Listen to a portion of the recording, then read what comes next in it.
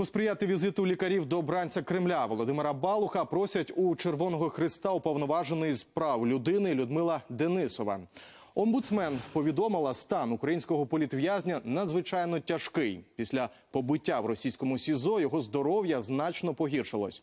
Медичної допомоги ув'язненому досі не надали. Нагадаю, кримського фермера Володимира Балуха у Росії засудили до п'яти років колонії за двома кримінальними справами. І вже півроку він голодує.